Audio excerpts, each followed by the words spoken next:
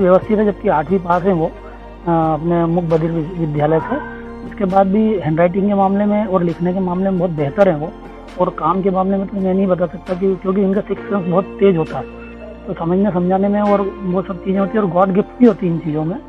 जैसे कि मेरी बेटिया जो है, वो लगभग जब ये मान लो कि आप छः महीने की थी, उसी समय से वो समझ गई थी कि मेरी जब, क्योंकि जूती क्योंकि वो रात में भी अगर उठाती थी तो मुझे ही उठाती थी, जब रोती थी तो। उसकी मम्मी को उसने कभी नहीं उठाया। विवाह के समय आपके परिवार की क्या सोच रही थी?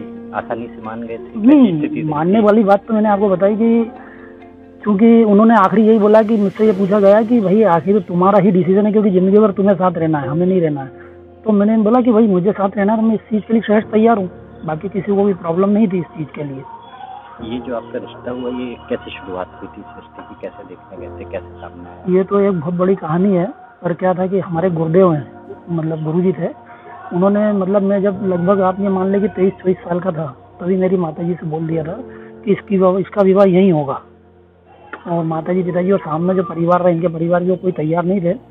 आफ्टर ऑल जब स्थितियाँ बनी तो मैं खुद, मैं तो शुरू से तैयार था हालाँकि, पर चूँकि किसी का वो नहीं सपोर्ट नहीं था, पर आखिरी में मेरे अंकल जो थे, घाटा पिल्लोद में रहते हैं वो, उन्होंने बोला कि देवन, क्या इच्छा है? मैंने कहा, मेरी तो शुरू से इच्छा और आज डन कर दिया जाए इस बात को तो उस बात को लेकर फिर मैंने डिसीज़न ले लिया कि मुझे शादी करना है।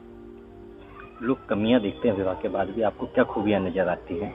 खूबियाँ एक हो तो गिनाऊँ उसमें अनगिनत खूबियाँ हैं खाना बनाने के लिए कि मतलब मेरा बहुत मेरा और मेरी बिटिया का ज़रूरत से ज़्यादा ख्याल रखती हैं वो पूरे परिवार का ख्याल रखती है आने वाने वो वालों का स्वागत करने के लिए या किसी चीज़ के लिए उसमें समझाने की ज़रूरत नहीं है। वो ऑलरेडी जैसे आप अभी आए तो पानी देना चाय देना कैसे स्वागत करना क्या करना क्या नहीं करना वो पूरा उसको सिस्टम सब अपने आप से पूरा काम कर लेती है।